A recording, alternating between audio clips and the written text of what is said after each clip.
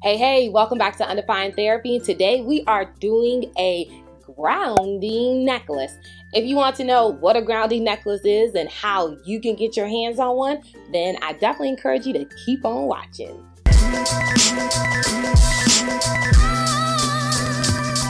As I just shared, we're going to be making and looking at a grounding necklace today. I decided to do a grounding necklace because a necklace is something that you can wear anytime, anywhere, and no one has to know that you're actually doing a therapeutic technique. You see how I got y'all? I got y'all. No one wants to be walking around, you know, opening up. Hey, let me let me get this so I can show y'all. No one wants to be walking around you know, smelling an essential oil to calm them down if they're having an anxious moment or if they're struggling to be present. No, no one wants to do that. I mean, you can, you can. The option's there. You, The option's there. But if you're looking for a second option, I definitely thought a necklace would be so good to use. So let me tell you what the necklace is made of, and then let me tell you what a grounding exercise is, and then we'll put it all together and create a grounding necklace.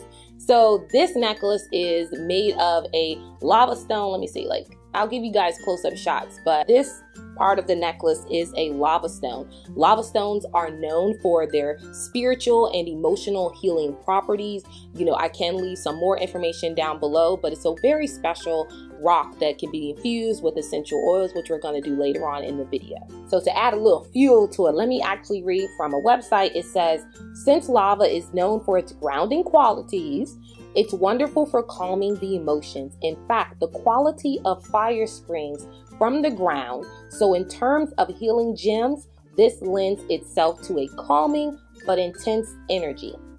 There you have it. So, that's good stuff, right? Lava stones, good stuff.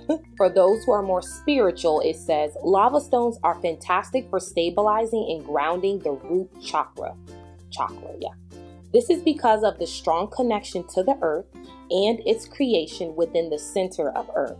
In folk remedies, it was also given to soldiers to help them remain calm during battle. So, that was some information about this wonderful lava stone that I have around my neck. Now, for grounding techniques, therapists like to use grounding techniques to help somebody come really into the present and focus so they can manage whatever's going on. So, if you struggle with anxiety, you're worrying about the future, the past, maybe an experience that you had that hasn't happened, but it's keeping you away from the present. So, your emotions are raising about something that's not occurring now having a grounding technique, sometimes counting, and what we're going to use is essential oil in this lava stone, can help you stay more present and help you kind of manage and mentally focus on the here and now instead of where your mind and emotions are taking you. Now we're going to put the healing properties of a lava stone and connect them with essential oils to make a grounding technique and create this wonderful necklace right here. So as you can see, I have taken the necklace off and here is the diamond shaped lava stone that I was discussing. I chose lavender because I love the smell. It's not too overpowering and I can